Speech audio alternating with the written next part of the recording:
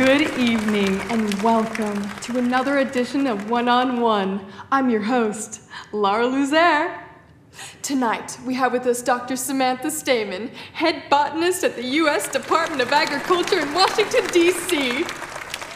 Dr. Stamen, thank you for joining us.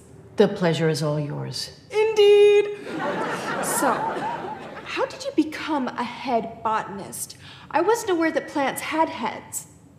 I wasn't aware that you didn't.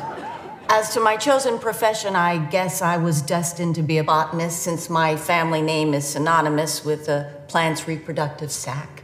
I got a lot of taunting at school, but I'm sure you can relate to that, Luzer.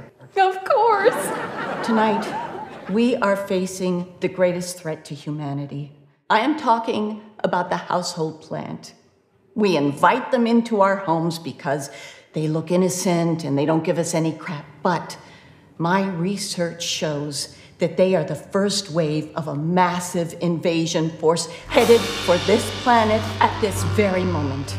Let me demonstrate a quick and effective way to rid yourselves of these treacherous creatures. Put the noose around the stem and pull it taut so the plant can't escape. And then push it off the closest ledge or windowsill. Oh, dear God! Why didn't you warn us? Ladies and gentlemen, if it's not too late, please send your children into another room. You fools! You're in danger! Don't you see? They're after you! They're after all of us! Your wives, your children! Oh, they're already here! Oh, you're next!